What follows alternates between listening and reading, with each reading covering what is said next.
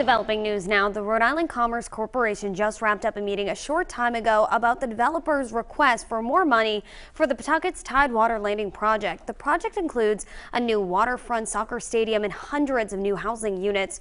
12 News reporter Shiina LoSciuto fills us in on what happened. The board members met behind closed doors for about two hours. That part was private, so we weren't allowed to listen in. But before that, they met publicly for about an hour. And during that one hour, board members had a lot of questions. The Tidewater landing talks continue. The proposed Pawtucket project coming with a $344 million price tag. The developer's Fortuitous Partners blames inflation and supply chain issues for a recent hike in the cost, something they're hoping the city and state can help with.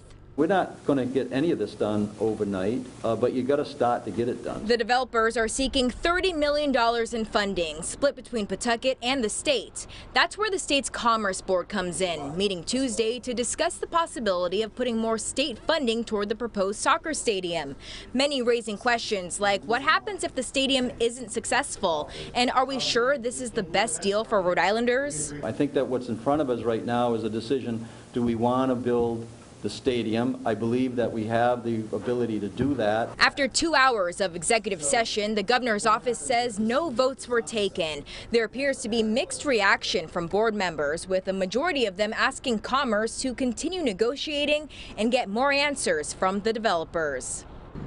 And the governor himself says he believes the heart of this project is the soccer stadium. So he believes if the state can get the stadium here, the rest of the project will follow.